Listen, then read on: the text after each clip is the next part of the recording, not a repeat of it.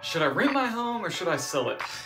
You know, that's a question I get all the time and frankly, don't have a great answer that can work for everyone. Truly, there's a couple things to take into consideration. First of all, what type of home do you have? Is it a big, huge, nice, fancy, custom, modern home? If that's the case, it might not be the best candidate for a rental. Sometimes, not always, but sometimes, rental properties get beat up a little bit. And so if your home has a bunch of really fancy features, especially like some of the smart technology that's out there today, uh, those are that's money that you've put into this property that when it comes to the rental side of things, you're probably not gonna get a very good return on investment.